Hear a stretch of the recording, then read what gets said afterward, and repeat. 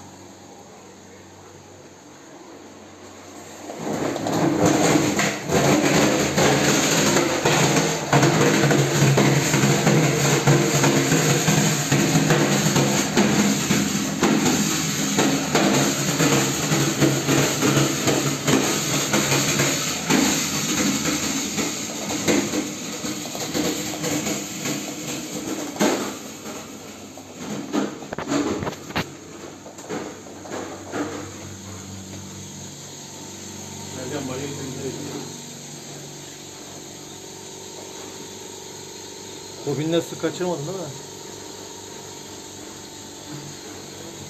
Kombi bu şekilde parçalanaraktan temizlenecek.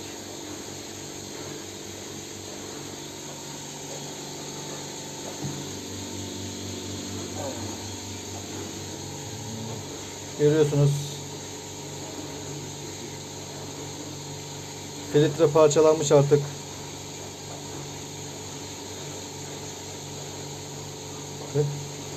Kombi petek temizliği bu yüzden önemlidir.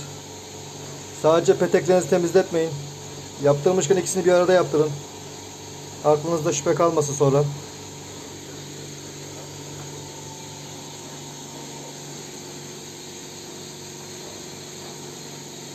Bu şekilde kusturma yöntemiyle darbeli bir şekilde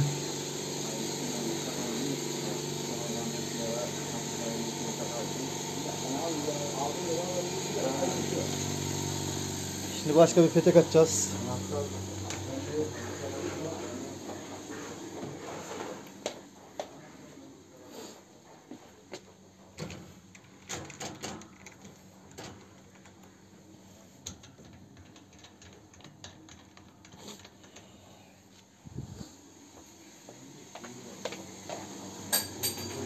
Temizlenen peteği kapatıyoruz.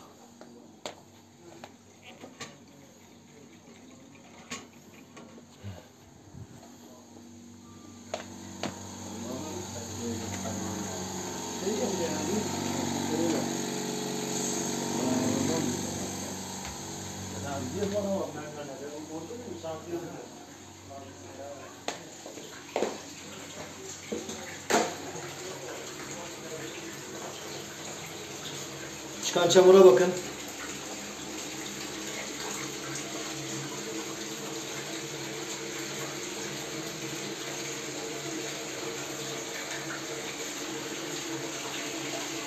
Her şey müşterinin gözü önünde. Bu pisliği ben atmıyorum içine.